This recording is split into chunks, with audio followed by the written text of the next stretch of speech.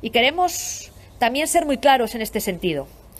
Y es que los datos no cuadran.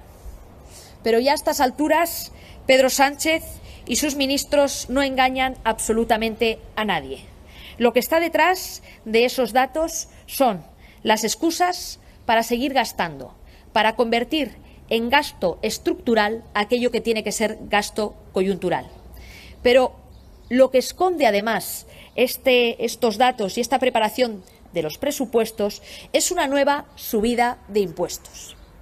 Y los españoles lo que se preguntan y lo que nos preguntamos el Partido Popular es cómo es posible que llegando fondos europeos los españoles también tengamos que pagar más impuestos.